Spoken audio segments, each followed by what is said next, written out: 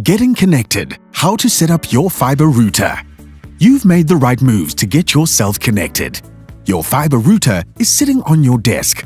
What now? We're going to help you set up your device and start streaming, socializing, and surfing online with speed. When you open your fiber router box, you should have a quick install guide pamphlet, two loose black antennas, a splitter with two ports visible on one side and one on the other, and a short splitter cable.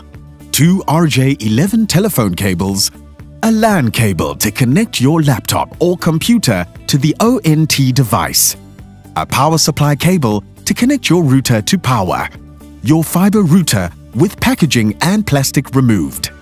You may find it useful to have an additional LAN cable to connect your fiber router to the fiber terminal that connects you to the fiber line. Your device should have come with an additional LAN cable that you can use, however, any LAN cable is usable. The first thing you need to do is attach the two black antennas provided. Insert each antenna into the hole provided on each side of the router and turn clockwise to secure them firmly.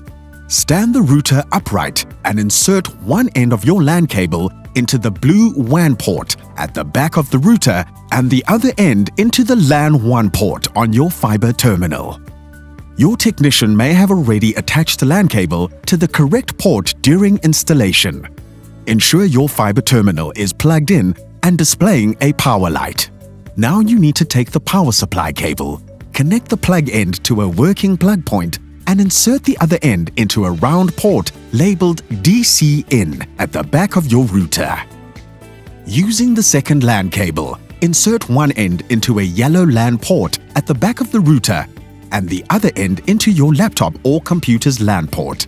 You can connect your computer to the router via Wi-Fi as well, but may have to reconnect to complete the setup if you change the network name or password details during software setup in Part 3 push in the power button at the back of the router to start the router up.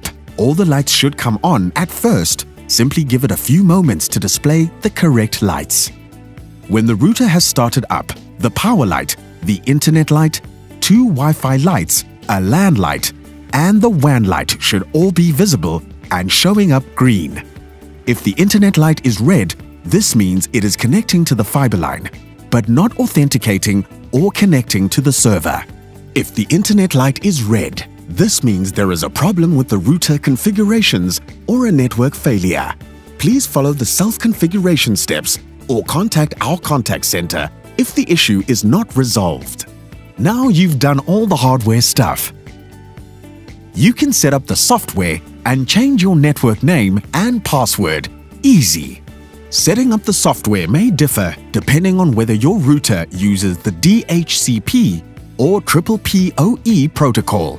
However, this will be automatically detected. DHCP will not require username or password details, but Triple PoE will. These details will have been provided by Telkom along with your device. First, you'll need to start up your laptop or computer that is connected to the router and open up your preferred internet browser click on the address bar at the top of your browser and type in 10.0.0.2 forward slash and press enter. You should now see your router's home gateway. Begin the software setup process by selecting ETH from the drop-down list of connections and click Next. It is at this point it will identify if you require a DHCP or Triple PoE setup. Don't worry about knowing which one you have. The setup wizard will auto-detect your type of connection. Software settings for Triple PoE. The following steps are only applicable to Triple PoE protocol fiber devices. Once you see a message that says Auto-detect success, Triple P account test passed, check that Triple PoE is selected from the drop-down menu and then click the Next button. Enter the username and password details provided to you by Telkom. Confirm your password once more and click Next. If you have not received these details, please contact us to request them. Allow a few moments for us to authenticate your details and confirm your account is valid before pressing the next button. Now it's time to change the name of your Wi-Fi network and password from the default. The SSID is the Wi-Fi network name and the pre-share key is the password.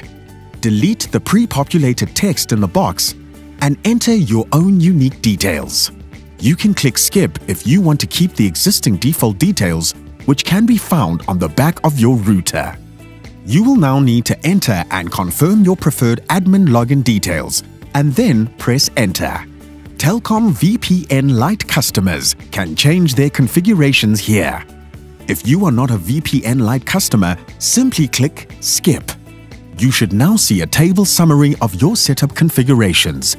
Review them and then click Apply.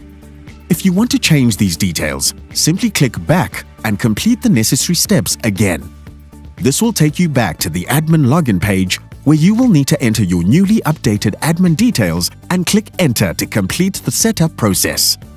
Now all you need to do is confirm your internet is working correctly by opening a new tab in your browser, entering any address or search term and pressing Enter. That's it! You're done and ready to start browsing.